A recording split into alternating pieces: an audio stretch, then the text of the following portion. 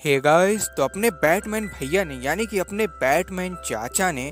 कर दिया है बॉक्स ऑफ़िस पर बवाल। गाइस तो बात करते हैं फ़िल्म की तो फ़िल्म काफ़ी ज़्यादा लोगों को पसंद आ रही है एंड ये film crime thriller and darkness से भरी हुई मूवी है। तो बात करते हैं फ़िल्म की स्टोरी की तो गौतम सिटी नाम के एक शहर में काफ़ी ज़्यादा मर्डर होने लगते हैं एंड उस मर्डर का जिम्मेदार होता है रिडलर नाम का एक व्यक्ति एंड इस व्यक्ति को पकड़ने की ज़िम्मेदारी होती है हमारे बैटमैन को।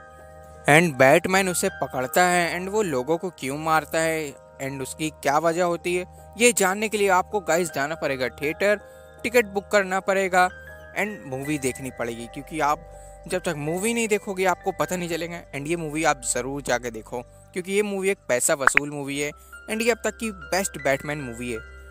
तो गाइज़ बात करते हैं रॉबर्ट पेटेंसन की, जिन्होंने बैटमैन के कैरेक्टर को काफ़ी ज़्यादा अच्छे से निभाया एंड काफ़ी लोग ये भी कह रहे थे कि ये एक अच्छे बैटमैन के कैरेक्टर नहीं निभा सकते। एंड उन्होंने अपनी एक्टिंग स्किल से काफ़ी लोगों का मुँह बंद कर दिया है। तो ये मूवी थोड़ा सडल्ट यानी कि अपने बैटमैन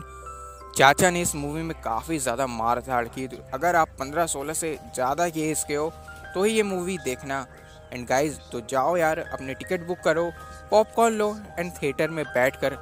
बेस्ट बैटमैन मूवी को इन्जॉय करो बट जाने से पहले अपने भाई का चैनल सब्सक्राइब ज़रूर करना, वीडियो को लाइक करना एंड अगर आपने ये फ़िल्म देख ली है तो आपको पेंगुइन का कैरेक्टर कैसा लगा प्लीज़ कमेंट में ज़रूर बताना।